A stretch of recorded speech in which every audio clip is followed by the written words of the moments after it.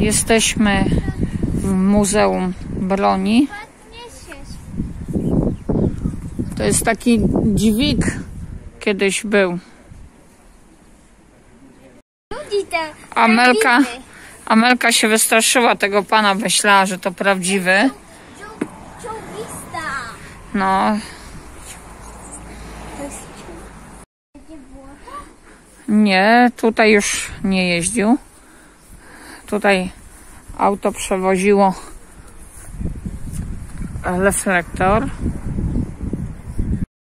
Kompletnie się nie znam na tych całych czołgach, militariach, ale to jest taka lekcja historii dla Ameli.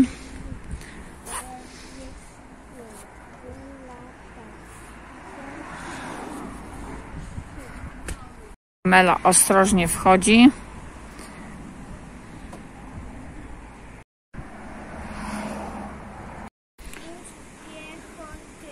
Radary jakie wielkie.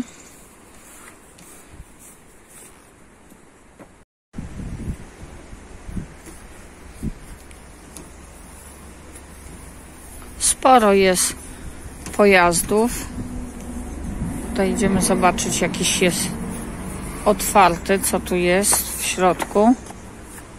O.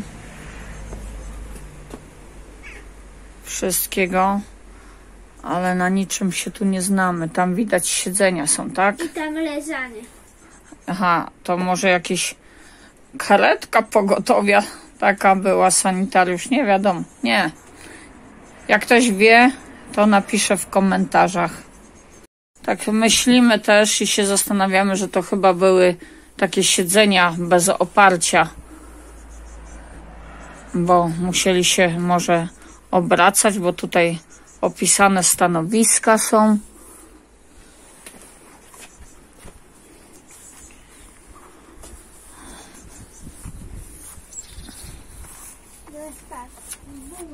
Stoimy blisko już koło tych radarów. Są ogromne.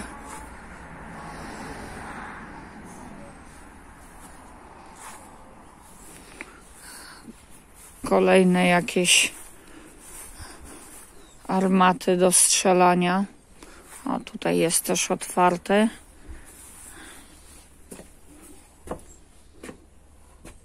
A tam były jeszcze fotele obrotowe, czyli tam naokoło różne urządzenia. A tutaj widzicie, jest podobny fotel, ale już ma oparcia. To znaczy, że może tam po prostu tych oparć brakowało wtedy, nie wiem.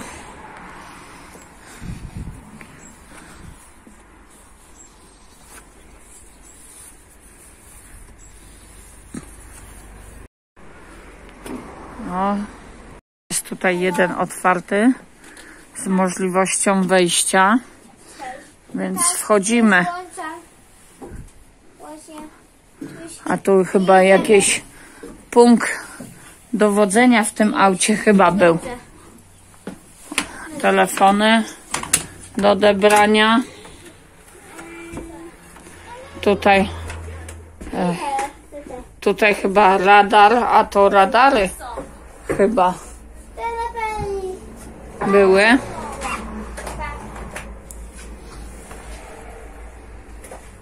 Co wy wyruszacie na akcję? Tak, my tutaj jesteśmy do, z dowodzeniówki mamy. Jeżeli chcesz coś do, do nas, to proszę, tutaj jest telefon. Proszę się z nami połączyć i dać nam jakieś informacje. A tam jest y, czerwony foker jeszcze można spotkać. Tutaj z góry łatwiej jest sfilmować troszeczkę. I zaraz idziemy samoloty oglądać. Zbliżamy się do lufy.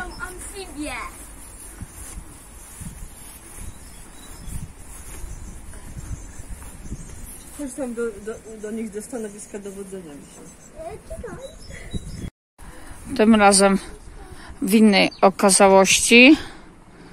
Samolot, który widzieliśmy w, w Świdnicy. Mamo, tutaj jest siedzenia. No, To chyba możesz wejść. No to możesz wejść. Usiąść, popatrzeć się.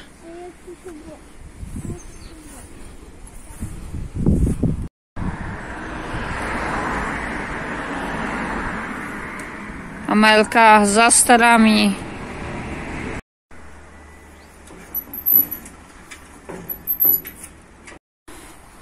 Kolejny, jak to się mówi, kolos. On na pewno i tak nie jest wielki. Ale atrakcja jest, jak się tak stoi przy nim. Okazja jest do kabiny zaglądnąć. Jak tam Amelka?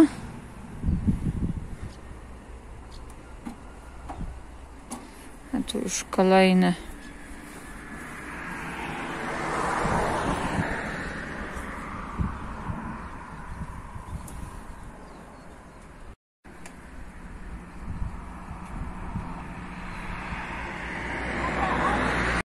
Ten już widzę jest dwuosobowy, chociaż jest mniejszy od poprzednich.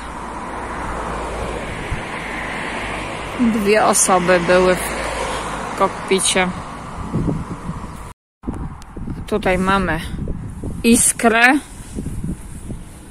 Nie wiem, nie ma barw wojennych, to czyli co, to jest jakiś inny samolot chyba, chociaż nie wiem, to jest chyba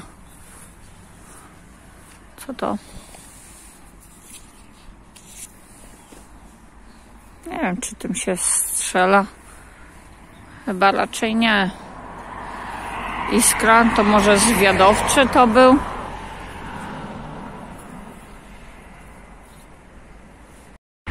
I tutaj kolejne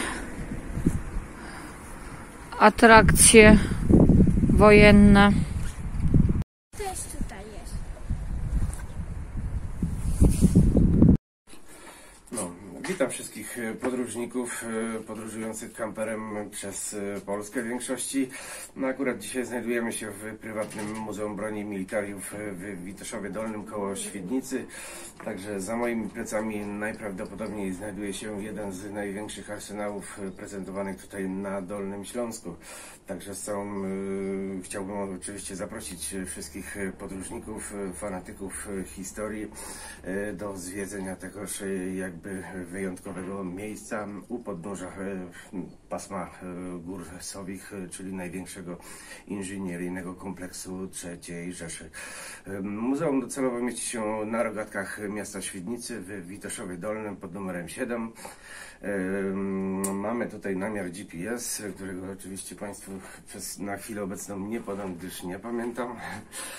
Także docelowo jesteśmy dostępni od godziny 10 do 18 i tutaj w naszym skromnym arsenale e, możemy podziwiać właśnie legendarne konstrukcje uzbrojenia, które wykształtowały naszą współczesną historię, uformowały nasze obecne granice.